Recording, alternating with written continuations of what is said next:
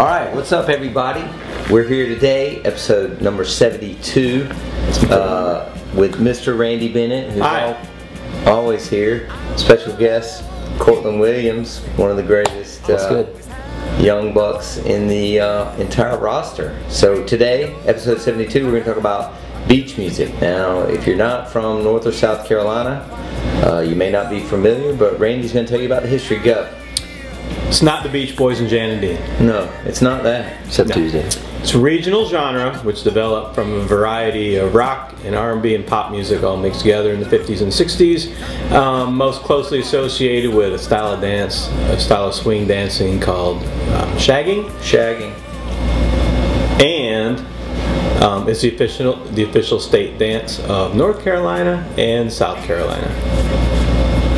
Want to tell them about that CD? set? Yeah, so if you just need one collection to get almost all of it, there's a four CD set called the Beach Music Anthology. That's the one to get. It's a yellow box.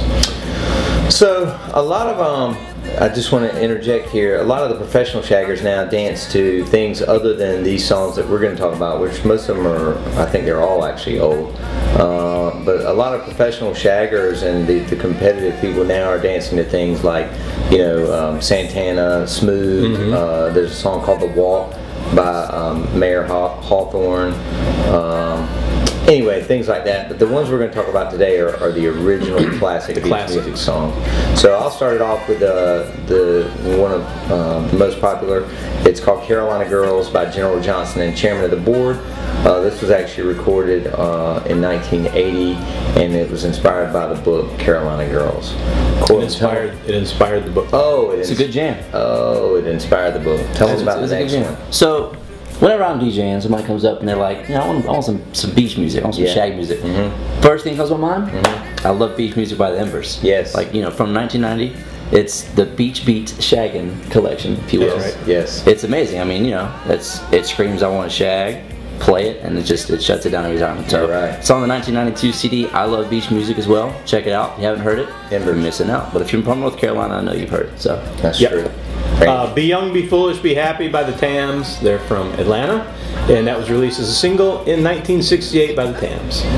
Uh, the next one is Clifford Curry. She shot a hole in my soul. Uh, it was a single in 1967, went to number 45 on the charts, and it was covered by a group called the Box Tops in '68. Then you got the great Band of Oz. Mm-hmm. So it's the Ocean Boulevard, the single in 1982 on Keep Keeping It, Keep Keeping It Up. Keep Pretty keeping great. it up. Can't even like my mind just can't even take it. It's such a great It's record. such a so. great- This this So- album was on and it's, it's out in 1985 too. So check right. that out as well. Uh, the Drifters, You're More Than a Number in My Little Red Book. Um, they were the original backup singers for Clyde McPhatter. And there's 60 different vocalists that have actually been in the history of the Drifters. Um, and Wow. this was actually a B-side of their single in 1976. Joey? Uh, another song that um, kind of crossed over. I think it was in that. I can't remember what the movie was, but it's been in uh, several movies. "Build Me Up, Buttercup" by the Foundations. The one where uh, the girl had the hair.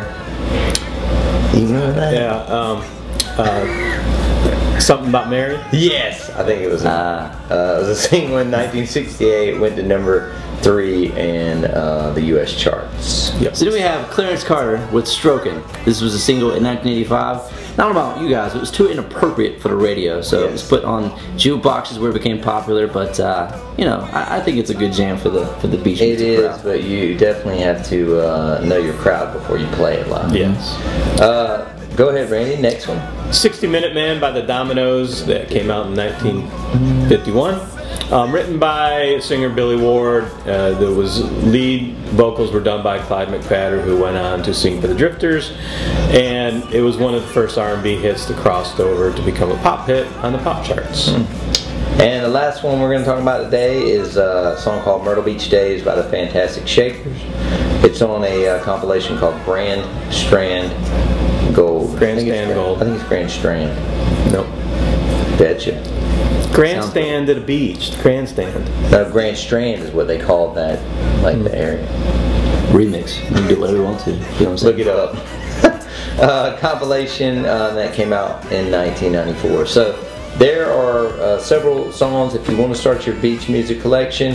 That's a good start, and I uh, hope you enjoyed episode 72. Go ahead, Randy. Hey, Joe. Yes. You know why fish? Why didn't you say, "Hey, Cortland"? I'm Hey- right here, dude. Hey, Cortland. I'm right here. You Say, know say why? Joe and Courtney. You know why fish like to swim in sea wa- in salt water? Jesus. Why? Because pepper makes them sneeze. Because pepper makes them sneeze. Just give it to him. Just give it to him. Awful. Thanks for watching. Goodbye.